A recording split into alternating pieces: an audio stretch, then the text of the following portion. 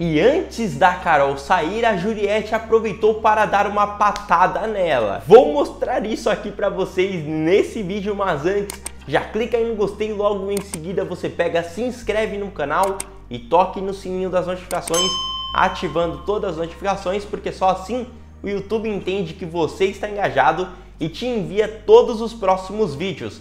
Bom, vamos direto ao assunto e roda a vinheta.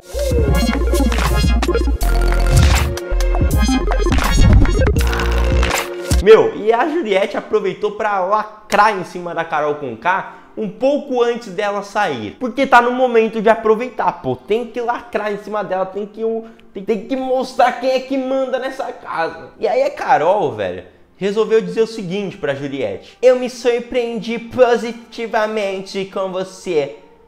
Ah, eu achava você maravilhosa. Agora não é mais? Não.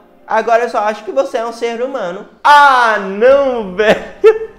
Cara, eu vou publicar essa e outras cenas lá no meu Instagram, arroba Oficial. Vão lá conferir com seus próprios olhos. Esse fora que a Juliette deu. Mano, a Juliette é demais, ela não tem papas na língua. E bom, pessoal, mais notícias eu volto aqui com vocês. Então não se esqueçam de clicar no gostei, se inscrever no canal e tocar no sininho das notificações.